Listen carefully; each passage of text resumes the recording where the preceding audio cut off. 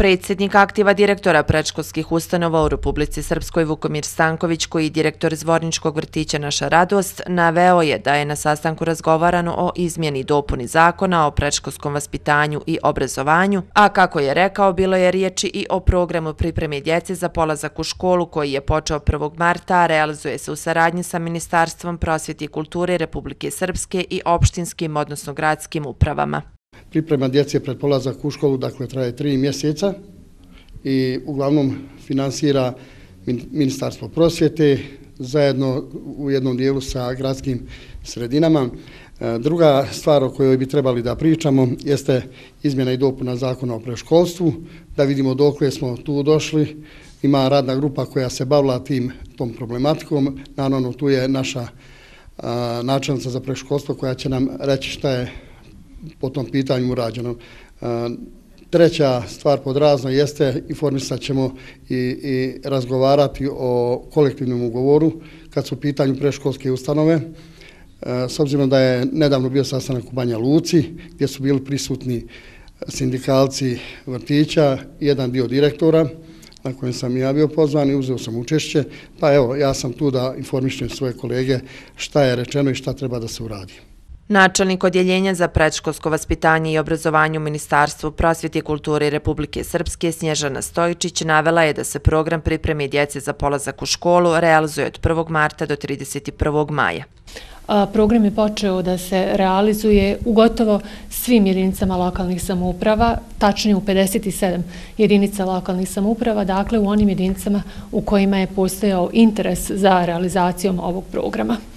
Eh, realizuje se program u predškolskim ustanovama i u jedinicama lokalnih samuprava u osnovnim školama u kojima nema predškolskih ustanova ili u mjestima u kojima nema predškolskih ustanova, opet u osnovnim školama, prostorima osnovnih škola. Eh, znači, riječ je o 87 osnovnih škola, jednoj školi za djecu sa smetnjama u razvoju i eh, 37 predškolskih ustanova.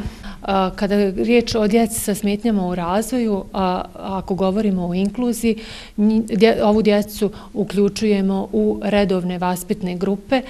Govorimo o programu koji traje samo tri mjeseca, tako da u ta tri mjeseca će ići u suštini period observacije koje svaka preškolska ustanova i dužna da provede. Imamo za sada prijavljeno jedno dijete sa smetnjama u razvoju u ovom programu koje je dostavilo nalazi mišljenje stručne komisije o procjeni potreba i usmjeravanja djeteta sa smetnjama u razvoju.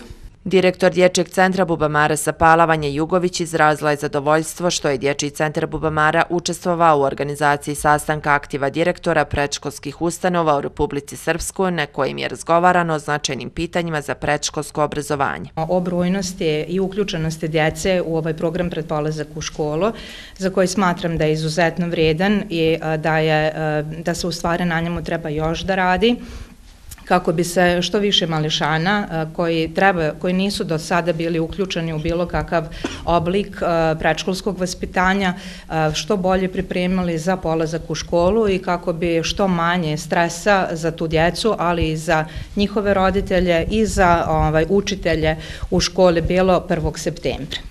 Načelnik opštine Pale Boško Juković istakao je da opštinska uprava podržava rad i javnog ali i privatnih vrtića na području opštine Pale. Naglasio je da je predškolsko obrazovanje izuzetno značajno za svaku lokalnu zajednicu. I opština je Pale kroz izgradnju e, novog vrtića, kroz izgradnju odjeljenja e, vrtića u koji će biti u mokrom urađeno toku ove godine, kroz sufinansiranje boravka djece u privatnim vrtićima pokazala da zaista misli o ovom segmentu i smatramo da je u pogledu e, obrazovanja ovo jedan od najjačih i najvažnijih segmenata, jer to je djece, kako da kažemo, trasiramo taj put, vjerovatno će oni na kraju i biti E, takvi. I zato je važno da ovi direktori odavde ponesu razmijene iskustva i e, mislim da nema dileme da će tako i biti, a sem toga i zahvaljujući predstavnicima nadležnog ministarstva, a on će razgovarati o nekim svojim internim temama i kao što je zakon, izmjene zakona o preškolskom obrazovanju.